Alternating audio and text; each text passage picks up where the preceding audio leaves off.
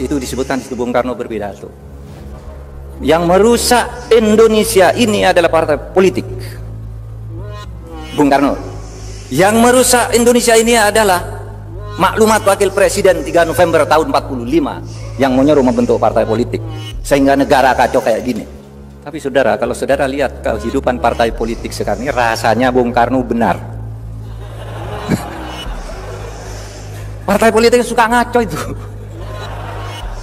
Sehingga saudara jangan bermusuhan karena partai, karena beda calon presiden apa enggak usah bermusuhan, pilih ya pilih. Besok yang akan menang Anies, besok yang akan menang Ganjar, besok yang akan menang Prabowo. Nah sekarang ini undang-undang penting, nggak bisa lahir.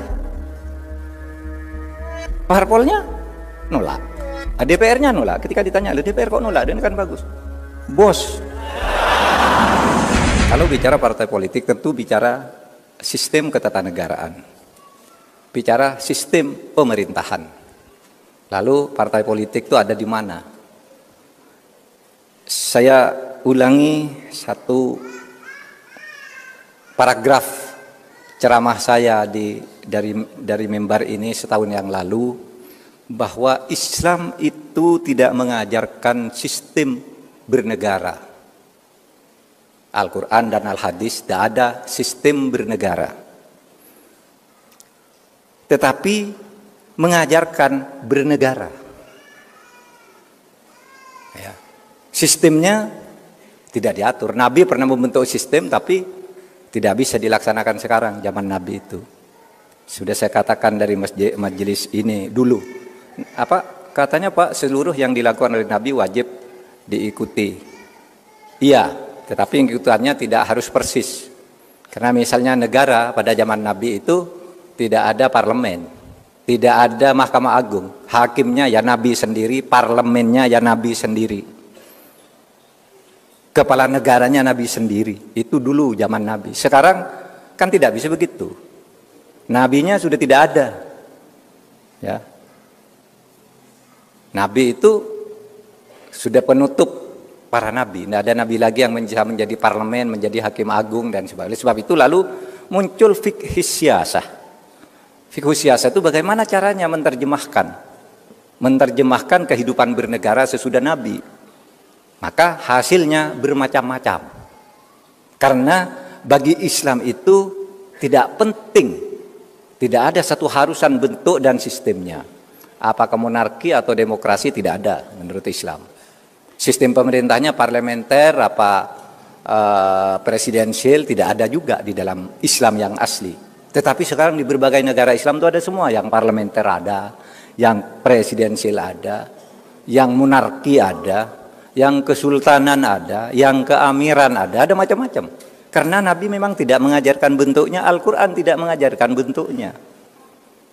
Tidak juga mengajarkan khilafah sebagai bentuk khusus, tidak ada. Itu semua terjemahan sesudah Nabi wafat. Nah, saudara sekalian, maka sistem pemerintahan di dalam negara itu berubah dari waktu ke waktu dan dari tempat ke tempat. Kalau di dalam studi ilmu hukum itu diajarkan bahwa hukum merupakan refleksi dari kehidupan masyarakatnya. Kalau masyarakatnya beda, maka hukumnya beda, tata negaranya beda juga.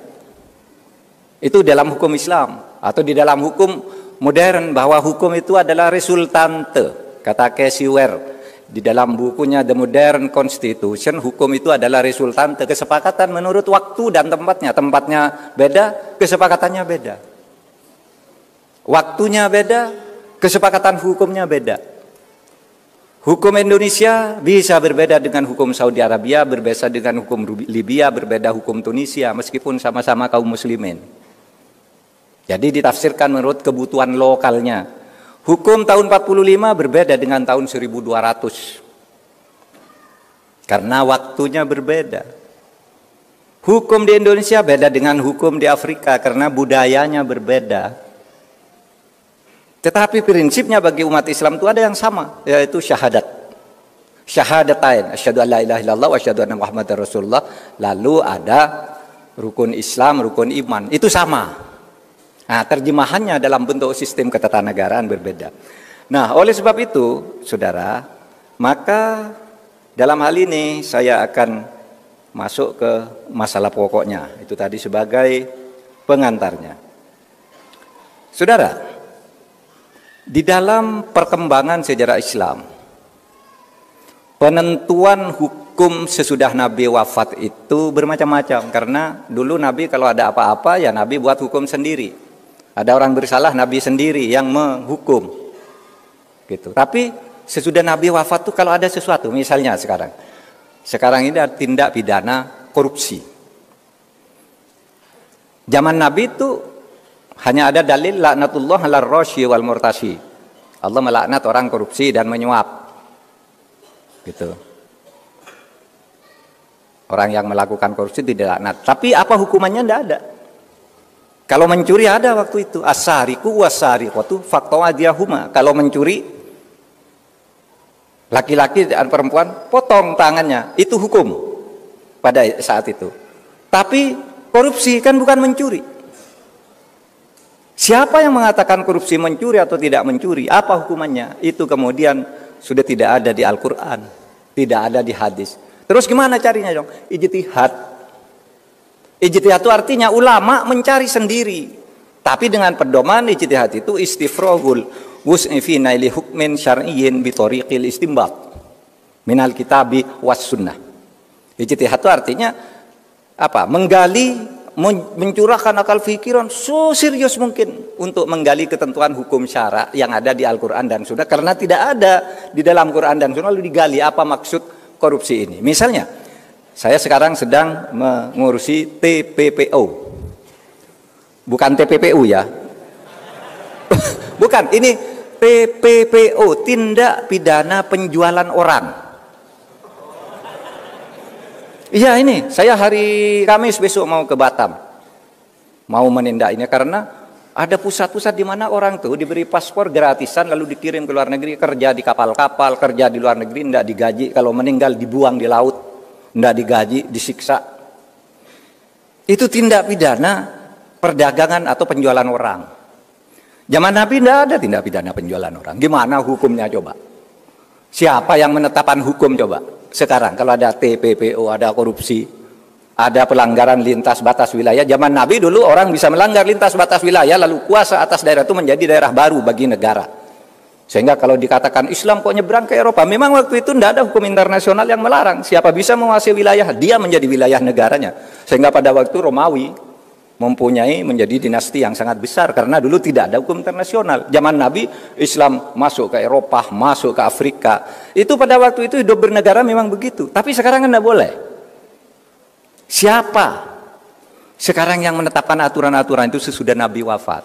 Nah di situlah kemudian di berbagai negara macam-macam. Ada yang dikeluarkan dalam bentuk dekrit raja. Raja mengeluarkan keputusan, deh harus ikut.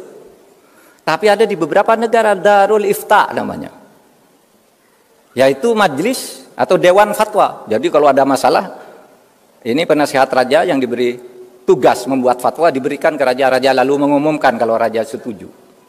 Maka seperti di Mesir itu, saudara, kalau menyangkut menyangkut hukum fikih itu yang memberi fatwa itu Universitas Al Azhar, Grand Sheikh.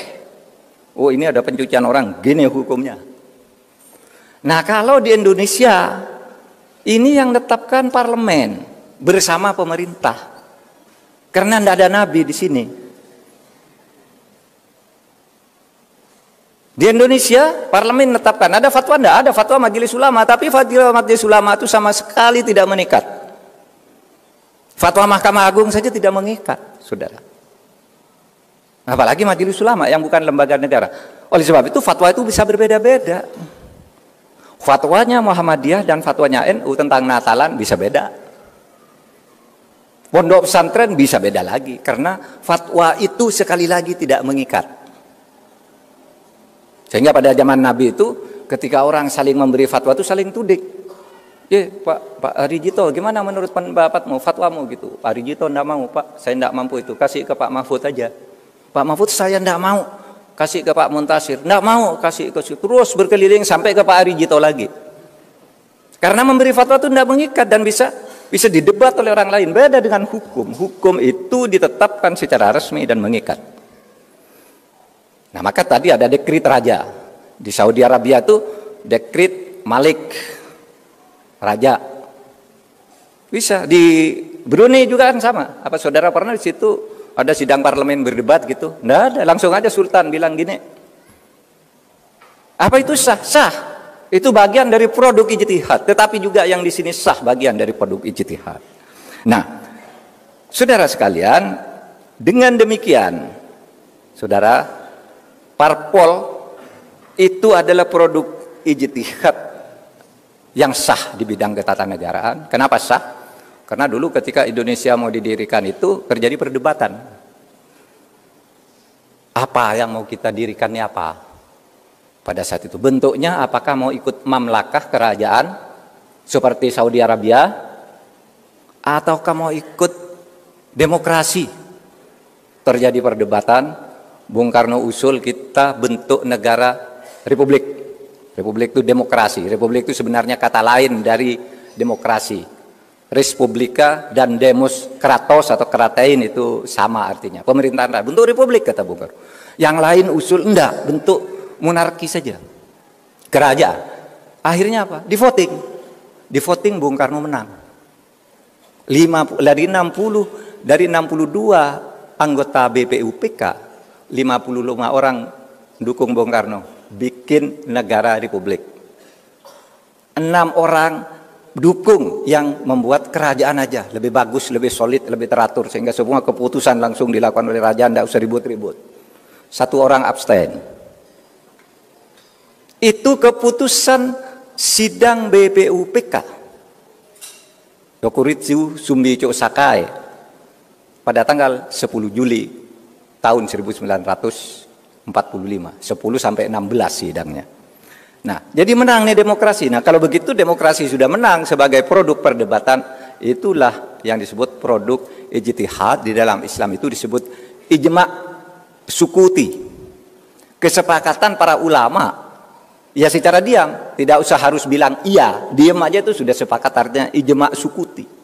Karena pada waktu itu Islam sudah diwakili oleh Bagus Hadi Kusumo dari Muhammadiyah, Nasir, eh, eh, eh, Kahar Musakir, Mas Mansur, NU-nya ada Hasim Asari, ada Wahid Hasim, ada Kiai Maskur, ulama-ulama itu ada Ali Arsyita, Ali Irsyata dari mana aja. Sudah kita sepakat sekarang demokrasi.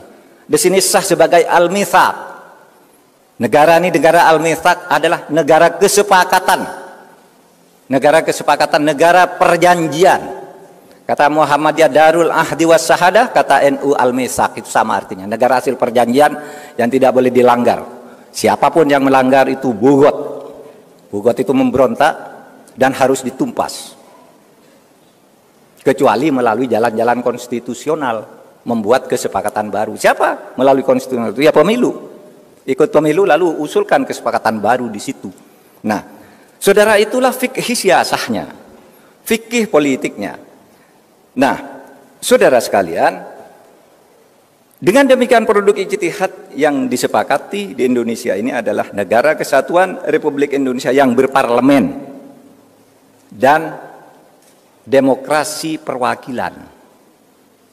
Di situlah kemudian muncul harus ada parpol partai politik. Nah kalau diurut fikih siasahnya seperti itu. Nah sekarang, oleh sebab itu sejak Indonesia merdeka lalu apa? Karena ini negara demokrasi harus ada pemilu. Ya, ditulis di situ dalam waktu enam bulan di Undang-Undang Dasar aturan tambahan ditulis begini. Dalam waktu enam bulan setelah Asia setelah perang Asia Timur Raya diselenggarakan pemilihan umum untuk memilih anggota DPR, MPR, Dewan Pertimbangan Agung. MPR, DPR, Dewan Pertimbangan Agung dan lain-lain lembaga negara lah. Pokoknya enam bulan waktu itu. Karena apa? Karena ini negara demokrasi, harus ada pemilu.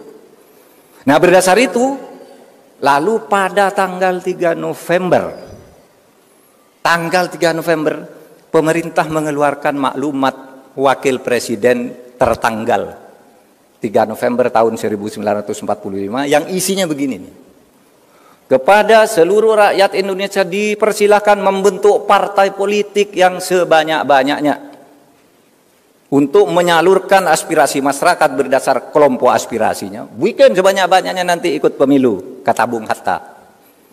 Nah di situlah lalu bermunculan partai politik yang kemudian sesudah diseleksi pada tahun 55 ikut pemilu.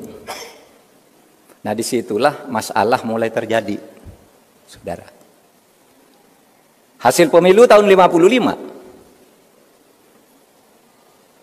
Ada DPR yang terbentuk, ada konstituante yang terbentuk. Konstituante bersidang di Bandung sejak bulan Maret tahun 56. Untuk apa?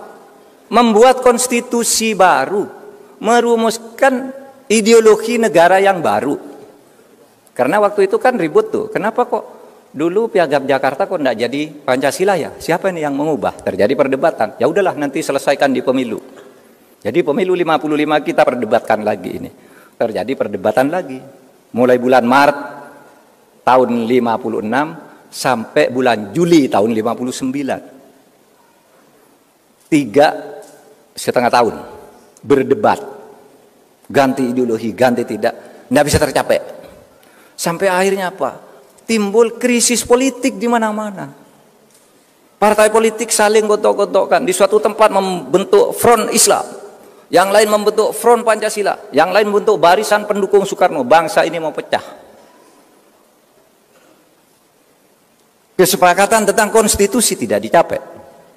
Pada akhirnya apa? Bung Karno mulai berpidato. Ditulis di bukunya Herbert Faith Herbert kita kenal nama ini dan Lens Kestel guru besar tamu di sini. Sampai saya kuliah di sini tahun 90-an masih di sini menulis di buku pemikiran politik Indonesia 45 65 itu disebutkan di situ Bung Karno berpidato. Yang merusak Indonesia ini adalah partai politik. Bung Karno. Yang merusak Indonesia ini adalah maklumat wakil presiden 3 November tahun 45 yang menyuruh membentuk partai politik sehingga negara kacau kayak gini. Oleh sebab itu kemudian presiden mengeluarkan dekrit presiden untuk menyelamatkan Indonesia, menghentikan kontroversi soal piagam Jakarta dan Pancasila dan sebagainya. Maka Bung Karno menyatakan membubarkan konstituante membentuk MPRS, DPRS dan DPAS dan kembali ke Undang-Undang Dasar 1945. Nah, di situ timbul kontroversi sudah mulai terhadap partai politik ini. Saudara, waktu itu kita agak marah kali ya. Waktu membaca sejarah itu kok begitu ya, Bung Karno ini. Partai politik hasil pemilu dibubarkan. Yang berhak memberlakukan undang-undang dasar bukan presiden, itu seharusnya konstituante. Lalu ditulis di sejarah ketatanegaraan kita, Bung Karno melanggar konstitusi sehingga dijatuhkan pada tahun 66. Tapi saudara, kalau saudara lihat kehidupan partai politik sekarang ini rasanya Bung Karno benar. partai politik suka ngaco itu. Ya kan itu yang dilakukan oleh Bung Karno. Lalu kalau enggak negara ini pecah. Dulu kita maki-maki Bung Karno setiap penatanan P4 demokrasi terpimpin ini salah. Lalu sesudah saya jadi menteri ini tahu, oh iya ya. Bung Karno enggak salah kalau dibiarin kayak kayak gini, enggak dilawan. Enggak ditreatment dengan tegas, negara ini bisa hancur, Saudara. Kalau zaman Bung Karno dulu kehancurannya mungkin pertentangan ideologi. Sekarang bisa karena persoalan korupsi dan ketidakadilan. Nah itulah sebabnya saya katakan, saudara sekalian, jadi kita ini, saudara sekalian, mempunyai negara demokrasi di mana partai politik itu merupakan salah satu instrumen penting. Itulah sebabnya zaman Pak Harto itu partai politik yang zaman Bung Karno yang ikut banyak sekali sampai perorangan ikut ini ikut. Zaman Pak Harto di Jadikan 10 aja yang boleh ikut. Pemilu pertama tahun 71, saudara yang sudah ada di tahun 71 ingat ada 10 partai politik. Tapi 7 tahun 73 oleh Pak Harto disederhanakan tuh tiga aja biar tidak ribut-ribut. Ternyata lalu kemudian tiga partai ini dikooptasi. Dikooptasi oleh kekuatan politik Orde Baru Sehingga di situ terjadi KKN, korupsi, kolusi dan nepotisme yang akumulatif. Apa akhirnya? Pak Harto dijatuhkan juga. Tidak ikut ketentuan undang-undang dasar. Demokrasi zaman Pak Harto itu demokrasi formal berjalan. Setiap lima tahun ada pemilu. Pemilunya ya direkayasa, tidak pakai survei, saudara udah pemenangnya udah tahu. Kalau sekarang ini kan asik nih, asik saudara, jangan jangan jangan salahkan situasi sekarang ini survei. Besok yang akan menang Anies, besok yang akan menang Ganjar, besok yang akan menang Prabowo. Tidak apa-apa, Survei dulu tidak boleh. Besok yang akan menang harus Pak Harto, harus Golkar kalau dulu. Udah udah diatur semua partainya. Makanya dulu ada ABG. ABRI, birokrasi, Golkar. Itu yang menentukan pemenang. Saya kemarin cerita di PDIP. Begini, saya bilang, itu ada kejadian lucu tuh. Menurut Undang-Undang Susduk MPR, DPR, dan DPRD, susunan kedudukan MPR, DPR dan DPRD. Di tahun 1997 disebutkan bahwa DPR terdiri dari 11 fraksi. Dan setiap partai harus punya minimal satu orang wakil di dalam fraksi itu. Tiba-tiba karena pemilunya tidak adil, bersemangat nih PDI waktu itu dipimpin Suryadi, Bu Mega juga ada masih menjadi bagian dari itu tapi udah pecah. PDI dikerjain. Apa? Di Sumatera Utara ternyata PDI hanya dapat 10 kursi. Di anu di seluruh Indonesia. Hanya dapat 10 kursi dari sebelumnya 44 kursi. Tinggal 10 karena dikerjain sedemikian rupa, diteror pemilihnya, dicurangi. Akhirnya apa? Sesudah pemilu diumumkan kaget loh ini kalau kursinya hanya 10 bertentangan dengan undang-undang susduk. Kan katanya setiap komisi harus ada satu wakil. Nih PDI hanya 10, terus siapa nih wakil satunya? Saudara Anda pakai pemilu ulang tiba-tiba diumumkan oleh Gubernur Sumatera Utara Kaharudin Nasution. Di Sumatera terjadi kesalahan perhitungan sehingga PDI PDI menjadi tambah satu kursi, genap 11 sekarang. Tidak pakai pengadilan tuh langsung dapat kursi. Karena apa? Semuanya sudah direkayasa. Saudara pasti masih ingat. Baca media hasil pemilu tahun 97. Pemilu terakhir Orde Baru. Nah sekarang kan tidak bisa begitu. Pemilunya sekarang sudah baik, saudara. Sudah baik. Masih curang? Ya masih curang. Tapi yang curang sekarang bukan pemerintah. Yang curang itu partai-partai sendiri. Golkar mencurangi PAN, PAN mencurangi Golkar di tempat lain. Sehingga saling gugat. Nggak ada pemerintah. Loh, KPU enggak beres. KPU itu bukan pemerintah. KPU itu yang membentuk DPR.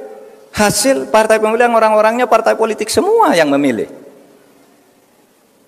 Ini pemilu yang sekarang.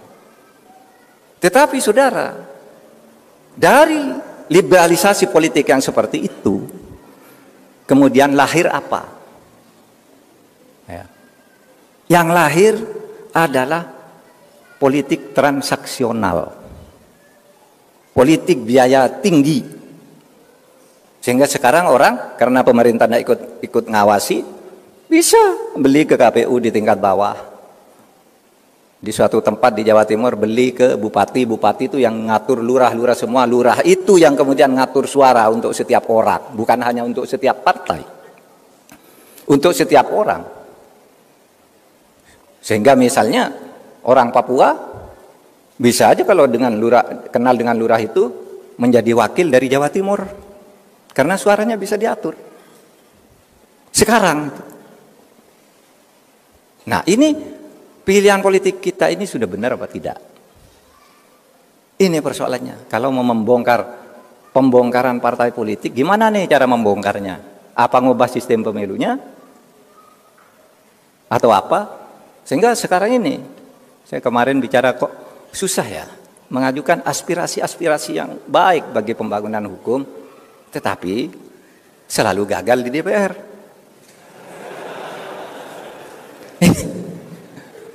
Lalu siapa ini yang yang salah. Ini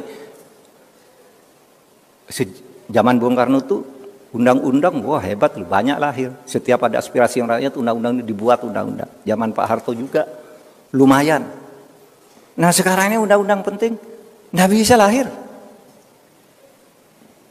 Parpolnya nolak. DPR-nya nolak. Ketika ditanya, DPR kok nolak? Dan kan bagus. Bos,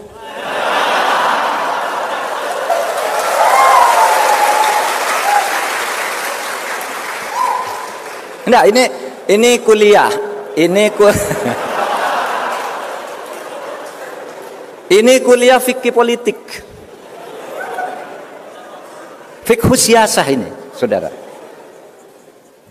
Nah, oleh sebab itu bagaimana ya? Kita ini sekarang memperbaiki. Sehingga kalau saya rangkum yang tadi itu pertama di zaman demokrasi liberal dulu banyak parpol berkelahi hampir membuat negara pecah Bung Karno mengeluarkan dekrit yang sudah direnung-renungkan sekarang ternyata Bung Karno itu ada benarnya. Kalau enggak waktu Bung Karno itu kan integrator saudara. Kalau melihat bangsa mau pecah ambil dia tindakan dengan risiko apa pun ambil. Tapi lu dianggap salah menimbulkan apa? Oh ini konstitusi tidak jalan sehingga terjadi perdebatan di orde baru. Kita ini mau membangun stabilitas atau demokrasi. Kalau demokrasi seperti zaman Bung Karno tidak stabil. Kalau stabilitas dibangun ekonomi tumbuh. Lalu dikatakan untuk sementara melih pertumbuhan ekonomi demokrasi dikecilkan dulu. Itu resmi keputusan Seminar Angkatan Darat di Bandung tahun 1966. Saudara. Nah, itu masalahnya. Kemudian di era Orde Baru disederhanakan agar partai tidak terlalu banyak instruksi. Modal asing susah masuk kalau tidak ada stabilitas maka zaman orde baru hebat itu tumbuh ekonomi rata-rata setahun 7 persen. Tetapi karena demokrasinya tidak ditumbuhkan kekuatan rakyat tidak dibangun ketika terjadi krisis moneter jatuh. Jatuh paling cepat dan sembuh paling lama. Negara lain juga kena tuh krisis mon. Tetapi mereka Setahun, dua tahun udah pulih. Indonesia sampai bertahun-tahun tidak pulih dari krismon waktu itu. Karena apa? Demokrasinya tidak dibangun katanya karena ingin pertumbuhan. Nah sekarang kita lalu melakukan reformasi. Buka lagi demokrasi. Lalu muncul demokrasi transaksional. Saya dulu kan di marah-marahi orang. Demokrasi, saya bilang, di Indonesia itu demokrasi transaksional, demokrasi uang mau kepala daerah itu tidak ada kepala daerah yang tidak dibiayai oleh cukong. Sebagus apa pun ada yang biayai. Ya, enggak semuanya Pak. Ya betul. Berapa? 84 persen kata KPK. KPK itu menyatakan resmi hasil temuan KPK 84 persen kepala daerah di Indonesia dipilih melalui cukong. Apa kemudian? Kalau orang kepala daerah nggak dipilih melalui cukong sudah jadi, dia diminta minta konsesi ini, izin ini jangan dikeluarkan perusahaan saya ikut tender ini harus menang. Dan seterusnya seterusnya. Akibatnya apa? Banyak pertambangan liar banyak IUP ganda. IUP itu izin usaha perusahaan penambangan. Ganda sudah diberikan ke saya diberikan lagi ke orang lain. Ribut. Maka kemarin Sangat mengagetkan.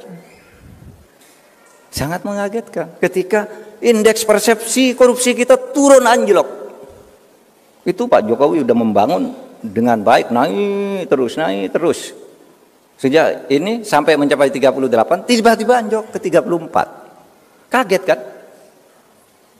Waktu peringatan satu abad NU di Sidoarjo itu saya sebenarnya punya tugas melepas lomba gerak jalan warga Nahdien. Tapi Pak Jokowi ngajak pulang ke Jakarta. Ikut satu pesawat. Saya tidak jadi ikut acara NU lanjutannya. Bicara tentang indeks persepsi korupsi. Apa yang terjadi? Saya bilang, Pak, masalahnya ada di berbagai sektor. Dari mana Pak Mahfud tahu? Tahu karena saya ngundang transparansi internasional ke rumah saya. Ngundang Litbang Kompas ke rumah saya. Ngundang partnership yang selama ini bergerak menilai tentang korupsi. Kesimpulannya apa Pak? Kesimpulannya itu Korupsi itu ada di birokrasi, terutama perpajakan dan bea cukai. Clear itu kesimpulan transparansi internasional. Nah, di situ Pak Jokowi sudah agak apa namanya? Iya agak takjub, agak heran gitu diperbacakan. Kok enggak sembuh-sembuh? Nah, kemudian ada di mana?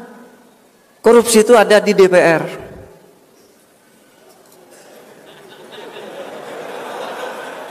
Apa bentuknya di DPR itu? Ya bentuknya konflik of interest. Anggota DPR ada yang merangkap perusahaan ini, perusahaan itu, lalu ketika menyusun anggaran, itu proyek ikut nitip. Ada lagi berfungsi ganda, konflik of interest. Menjadi lawyer kemudian ikut ngurus perkara orang. Itu temuan transparansi internal. Yang ketiga di pengadilan. Kasus-kasus sudah dibayar. Ada pak, ada itu sudah ditangkap tuh. Di Mahkamah Agung ini ada empat hakim agung ditangkap sekarang. Bayar. Perkaranya udah jatuh. Kan perkara udah dijatuhkan itu enggak, enggak bisa diubah. Saudara. Hakimnya aja ditangkap. Itu katanya di Mahkamah Agung. Dan itu internasional, saudara. Investor-investor asing yang memberitahu itu. Pak, kalau kami urusan itu harus ke DPR, bayar sekian. Ke, pajaknya kena sekian. Dinego, sesudah ini ditawar begini. Sudah kami mau bayar pajak penuh. Tapi diminta, udah turun aja, tapi sisanya dibagi. Udah tahu semua catatannya, saudara. Sehingga, wah, kok enggak sembuh-sembuh ya? Gitu yang muncul. Ini yang harus kita perbaiki di dalam ketatanegaraan kita yang pada sore hari ini kita bicara tentang parpol. Ya. Nah, saudara sekalian, kalau kita teliti lebih lanjut, reformasi di awal periodenya, periode era reformasi, itu kan kehidupan partai politik itu bagus banget. Pemilu terbaik sesudah Orde Baru adalah pemilu era reformasi pertama tahun 99 di mana PDIP menang mutlak dibandingkan yang lain lah 36 persen. Yang lain dibagi ke sekian banyak partai tapi 36 persen diambil PDI sendiri. Karena demokrasinya waktu itu bebas. PDI banyak pendukungnya menang PDIP dipimpin Bu Megawati menang dan saudara coba lihat Pemilu yang baik, hasil pemilu tahun 99 sampai 2004. Tidak ada korupsi. Bagus, DPR-nya bagus, produknya bagus-bagus, lahir undang-undang KPK, undang-undang MK, undang-undang Komisi Yudisial. Korupsi tidak ada. Saya pernah jadi Menteri Pertahanan, tidak ada kasus korupsi saat itu. Zaman Habibie tidak ada korupsi baru, takut semua. Jangan Mbak Mega juga korupsi, tidak ada. Mungkin ada persoalan penjualan aset yang apa? Ya itu kan bukan korupsi, bisnis. Tapi korupsi yang bersungguh-sungguh kemudian muncul sesudah tahun 2004 dan seterusnya. Di situ mulai timbul politik uang. Saudara. Jadi apa? Terjadi pergeseran-pergeseran. Saya pernah melakukan studi setiap perubahan suatu rezim atau era. Hukum itu berjalan baik, tapi sesudah sekian lama hukum menjadi jelek, jelek, jelek, jelek karena kontrolnya berubah. Coba awal kemerdekaan. Bagus tuh hukumnya tapi lama-lama timbul konflik. Awal demokrasi terpimpin semua tertib. Tapi lama-lama terjadi kesenangan berkepanjangan. Awal orde baru hebat. Kebebasan pers undang-undang DPR apa diatur semua. Bagus awalnya. Minimal tahun 66 sampai tahun tahun 69 bagus mulai pemilu 71 mulai jelek. Era reformasi juga bagus banget tapi lama-lama terjadi degradasi degradasi. Nah, ini yang harus kita perbaiki, Saudara. Sehingga dengan demikian apa ingin saya katakan pada menit-menit terakhir ini? Saya ingin menyampaikan hal-hal sebagai berikut. Saudara, parpol itu adalah instrumen konstitusi untuk menjaga negara. Oleh sebab itu, partai politik harus diperbaiki tata kelolanya dan proses rekrutmen politisinya. Banyak orang mengatakan sekarang di medsos, bubarkan DPR, bubarkan parpol. Saudara, itu adalah pilihan yang sangat jelek. Saya ingin tegaskan daripada tidak ada DPR, daripada tidak ada parpol, lebih baik kita hidup bernegara ini mempunyai DPR dan mempunyai parpol meskipun jelek. Iya, iya, begini saudara. Kalau negara berubah ke monarki, potensi kesewenang-wenangan di dalam negara apa pun, kalau monarki itu potensi kesewenang-wenangannya besar, sementara masyarakat tidak punya peluang untuk mengontrol. Di dalam sejarah kebangunan khilafah-khilafah Islam, itu pelanggaran dan kesewenang-wenangan luar biasa banyak terjadi. Pembunuhan terhadap ulama-ulama itu terjadi di khilafah Islam karena beda pandangan politik, memberi fatwa yang berbeda. Imam Hambali yang kita ikuti ajaran fikihnya sampai sekarang di penjara, dianiaya karena beda pendapat dengan khalifah. Dan tidak ada yang berani ngontrol. Tetapi coba kalau demokrasi meskipun partainya jelek, Nah, bisa dia punya pulang konstitusi mengatakan partai gitu. Dalam situasi tertentu partai meskipun jelek ini bisa dipakai untuk memperbaiki negara. DPR harus ada untuk menyelesaikan masalah. Oleh sebab itu jangan berpikir dalam situasi sekarang udahlah berubah negara kita jangan menjadi demokrasi tidak boleh. Harus tetap demokrasi. Pilihannya partai dan DPR harus diperbaiki bersama-sama. Saudara. Ya. Nah, yang kedua, Partai politik dalam ide kita itu dibangun untuk salah satunya adalah rekrutmen kepemimpinan bangsa. Oleh sebab itu partai politik itu harus ada tetapi harus bersaing untuk memilih pemimpin yang benar. Memilih wakil rakyat yang benar. Itu. Jadi Partai politik itu bukan untuk saling meniadakan, saling membutuhkan, saling membunuh. Saya, saya, saya calonkan ini ini, kalau ini kalah lalu pecah gitu. Nggak boleh. Yang menangnya harus diterima sebagai produk persaingan yang fair. Di dalam kita bernegara. Jadi bukan saling memfitnah, saling membantai. Ya udahlah, sayang kalau memang pilihanmu yang menang dipilih oleh rakyat kita akui bersama. Anda mau berada di bergabung boleh, beroposisi juga boleh, tapi oposisi itu ada batas-batas konstitusionalnya juga. Yang penting partai sehat, parlemen sehat. Saudara. Dan yang terakhir, Saudara, tidak ada partai politik itu yang jelek benar, tidak ada partai politik itu yang baik benar. Di partai apa pun ada orang baiknya, tapi di partai apa pun juga ada koruptornya. Oleh sebab itu, ini yang harus diperbaiki. Dan bagi kaum muslimin, ya, karena partai politik itu sama fungsinya adalah untuk memperbaiki dan tidak ada kebaikan mutlak di satu partai, tidak ada kejelekan mutlak di satu partai, maka kita ini umat Islam itu boleh memilih partai apa saja. Asal niatnya ingin memperbaiki negara. Saudara, milih PDIP tidak haram. Milih Golkar tidak wajib. Milih PAN tidak sunnah juga. Pilih sesukamu, tetapi kemudian bertemulah di dalam apa yang disebut kalimatun sawa. Kalimatun sawa itu apa? Visi yang sama. Partai apa pun ingin negara ini baik. Nah, di situ kita ketemu. Meskipun kamu masuk Demokrat, masuk PDI, masuk apa, enggak apa-apa. Tapi kita punya visi yang sama dengan cara dan pintu yang berbeda. Saya tutup ini dengan satu ayat.